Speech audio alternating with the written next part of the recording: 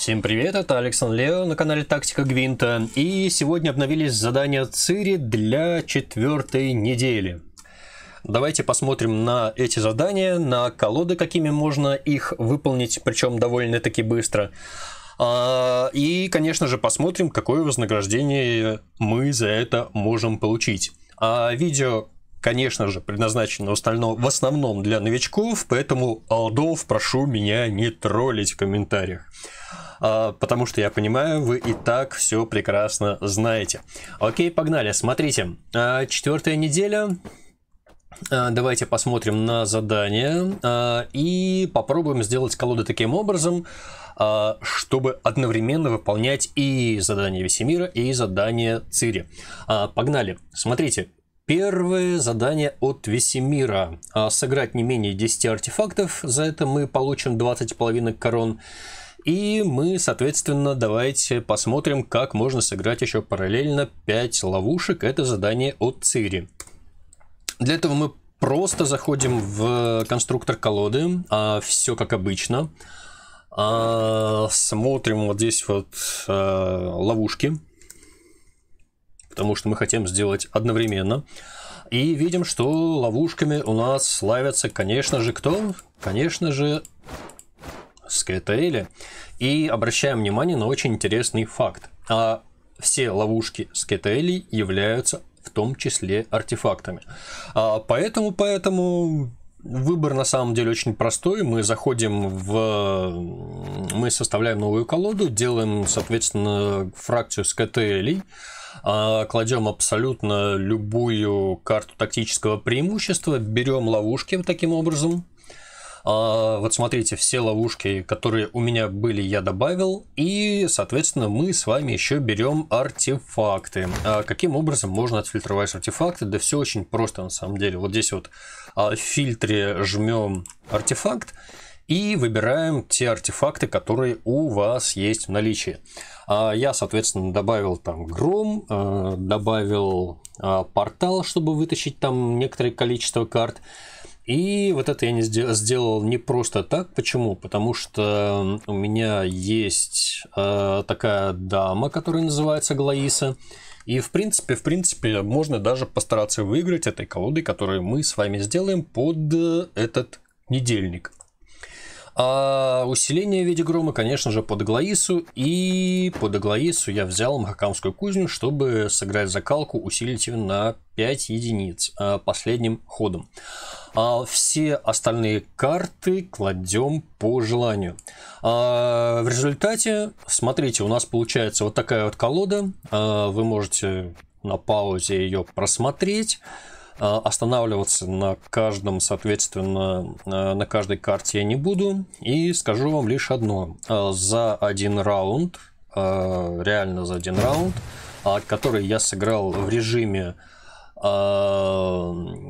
сезонного матча, вот здесь вот, я выполнил оба задания. То есть э, все достаточно просто. У меня заняло 5 минут составления колоды и 6 минут, соответственно, выиграть матч. А в результате 6 минут мы с вами положи, получили, сейчас скажу, 20 половинок корон и вот здесь вот 20, 40 половинок корон. Вуаля. А вот, а с этим, я думаю, все понятно, давайте перейдем к следующему заданию, которое звучит таким образом. Добавить броню 10 раз, и здесь мы смотрим сыграть 3 сезонных матча. А 3 сезонных матча, я думаю, я не буду объяснять, как вам играть. Почему? Потому что заходим в сезонку, жмем игру и играем 3 сезонки. Можно их отыграть даже просто выложить одну карту, дождаться, когда сходит противник и посануть. Этот матч вам будет засчитан. А давайте посмотрим, как э, сделать колоду по добавлению брони 10 раз. А на самом деле тут тоже все очень просто. И э, за буквально один матч я 10 раз добавил броню. А давайте посмотрим опять же, кто у нас славится броней. Э, походим по фракциям. Очень много карт, которые умеют, а, соответственно, работать с броней у нейтралок. Это бандиты, машины. И посмотрим на остальные давайте. То есть чудовища, нильфы, Королевство Севера, Скайтели, Скеллиги, э, синдикат. А я остановился на скайтелях. Почему? Потому что давайте я вам покажу одну интересную вещь. А, во-первых, мы можем сделать э, умение лидера Махкамская кузня, которая позволяет один раз сыграть закалку, которая добавляет броню. А, обратите внимание, то есть вот нам раз броня, которую мы можем сыграть. А второй момент, э, почему это именно скайтейли. А, да все просто. А, у скайтейли очень много краснолюдов, ну, в принципе, у них в основном краснолюды. А есть вот такие вот карты, которые умеют усиливать а, дружественный отряд на 2 единицы, и если это краснолюд, ему также добавляется 2 единицы брони. А, поэтому я добавил, соответственно, сюда еще Вагенбург, а, как вы видите. А, я сюда добавил Мантилет, две штуки, которые каждый раз, когда вы играете отряд, добавляет броню вашим отрядам. И здесь на самом деле все очень просто. Кладем Вагенбург, вокруг него кладем отряды. Э, сначала можно положить мантилет в зависимости от того, что к вам придет. И всем остальным мы с вами, соответственно, работаем по, ну, потому что у вас зашло. А у меня есть возрождение, у меня есть нейромантия, то есть при помощи возрождения можно сыграть любую э, ну, карту до 9 единиц сброса, опять же, которая может делать броню. А нейромантии вытаскиваем абсолютно любую карту. Лютик то же самое, берем карту, играем карту. А защитником леса я пару раз э, сыграл, один раз, один раз я сыграл закалку, то есть еще добавил броню.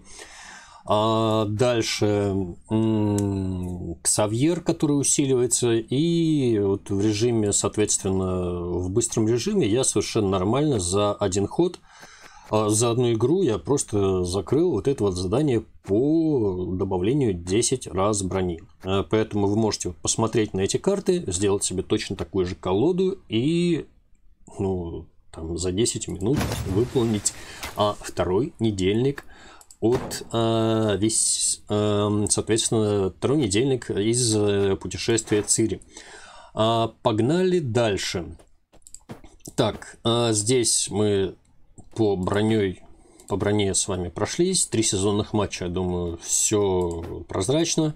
А дальше а, задание выиграть один матч в обычном режиме. Обратите внимание, что а, это должна быть именно рейтинговая игра. То есть, если галка будет снята, то это задание у вас не зачтется. То есть, обязательно играем в рейтинге. Это раз.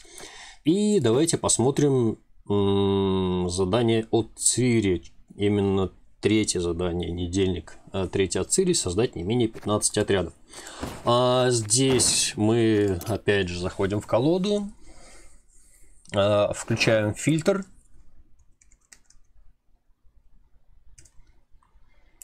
И смотрим, смотрим, у кого больше карт, которые умеют создавать отряды. А, нейтралки вот смотрите, нейтралки вот эти подойдут любым, э, то есть авангард он совершенно нормально э, раздвоится.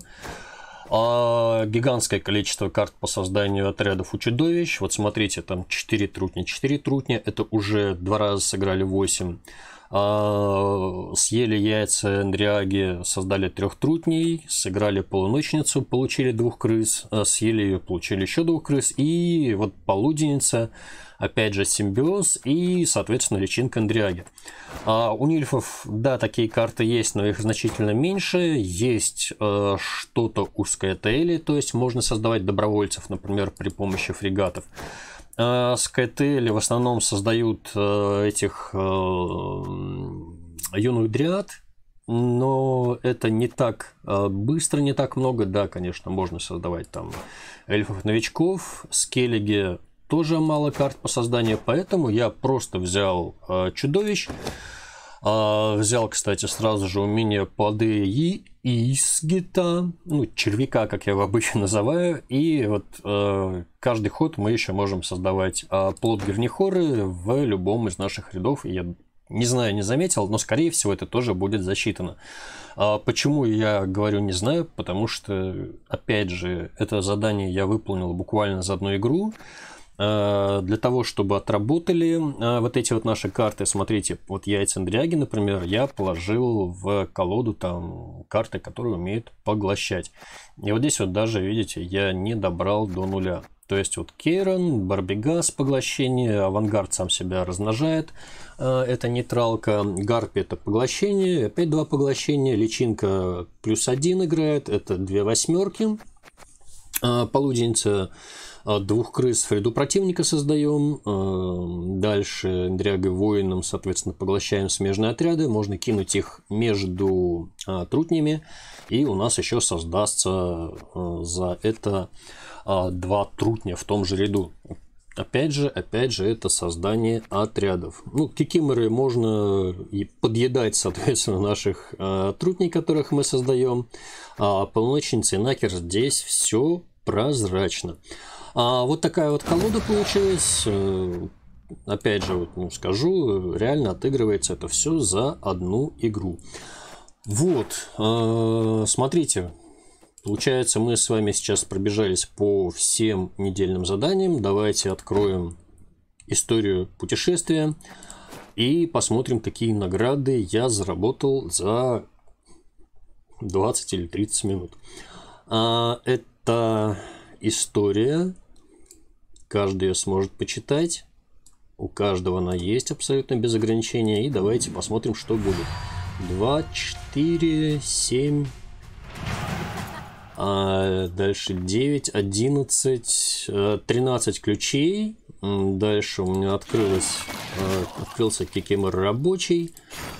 А, вот такая вот рамка. Сирена.